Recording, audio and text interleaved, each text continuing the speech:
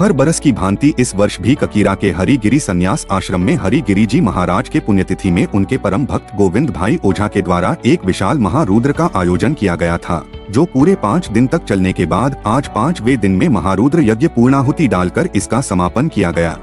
गोविंद भाई ओझा का कहना है, इस यज्ञ को करवाने का खास मकसद पूरे देश में सनातन धर्म को शांति, सुख और समृद्धि लाने के लिए और लोगों को रोग से मुक्ति दिलाने के लिए इस यज्ञ को किया जाता है।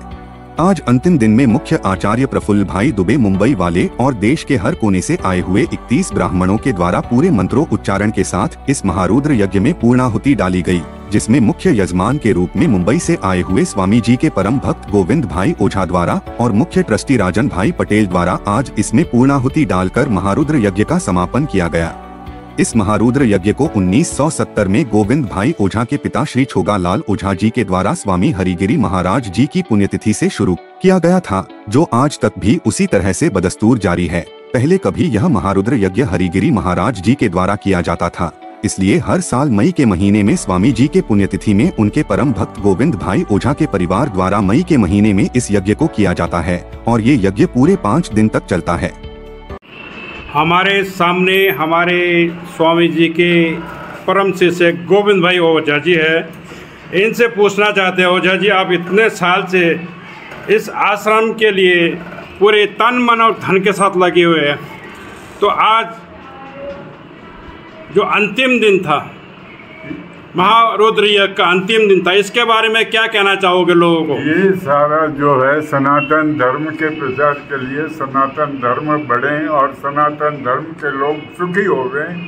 सनातन धर्म को जो हमने पालन किया, धारण किया है तो इससे विश्व में शांति होवे और लोग सुखी होवे और अपने अपने दुखों से मुक्ति पावे।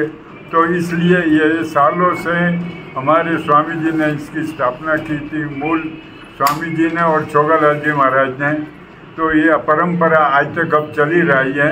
सनातन धर्म की शांति और सनातन धर्म के प्रचार के लिए सारा ये कर्म हो रहा है और बाकी स्वामी जी ने इसकी स्थापना की तो इससे हॉस्पिटल और नर्सिंग तो लोगों की काफ़ी सेवा हो रही है। तो ये कोई कम बात नहीं है। हिमाचल में लोगों को ये एक सनातन धर्म की सेवा होती है। तो ये बहुत बहुत स्वामी जी का आभार। और जो भी लोग आए हैं, उनका बहुत बहुत धन्यवाद। और आभार मानते हैं। और आपका गौरंग जी मीडिया, आपने जो हमारी से बात की, आपका भी बहुत बहुत धन्यवाद।